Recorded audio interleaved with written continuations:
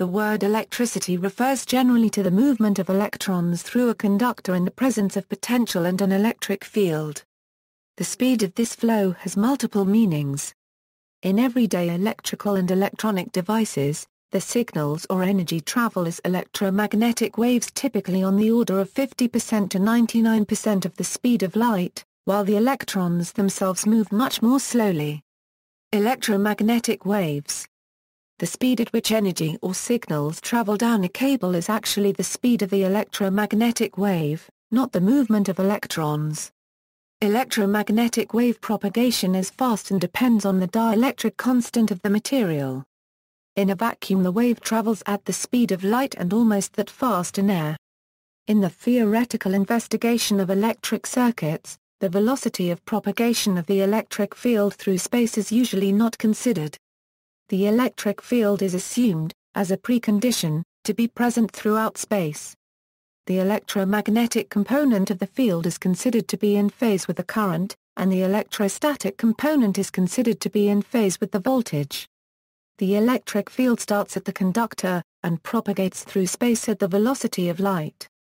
At any point in space, the electric field corresponds not to the condition of the electric energy flow at that moment, but to that of the flow at a moment earlier. The latency is determined by the time required for the field to propagate from the conductor to the point under consideration.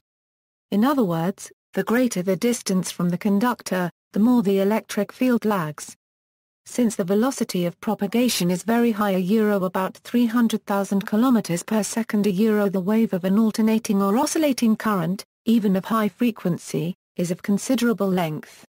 At 60 cycles per second, the wavelength is 5,000 km, and even at 100,000 Hz, the wavelength is 3 km. This is a very large distance compared to those typically used in field measurement and application. The important part of the electric field of a conductor extends to the return conductor, which usually is only a few feet distant. At greater distance, the aggregate field can be approximated by the differential field between conductor and return conductor, which tend to cancel.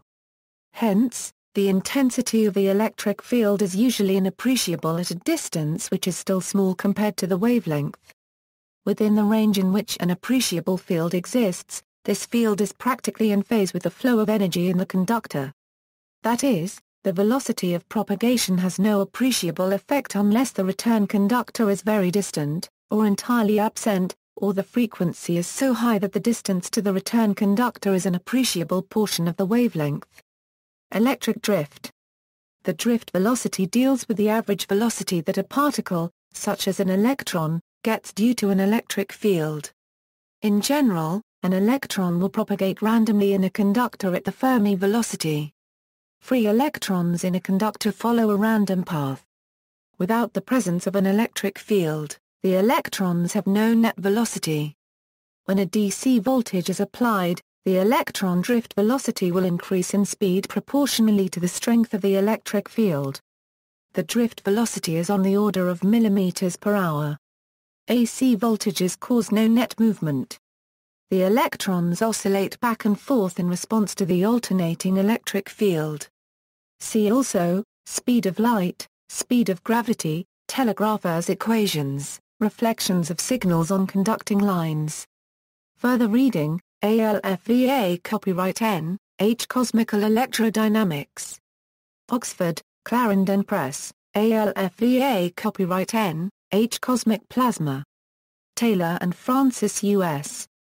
General Electric Review, Volume 15 by General Electric. Velocity of Propagation of Electric Field, Charles Proteus Steinmetz.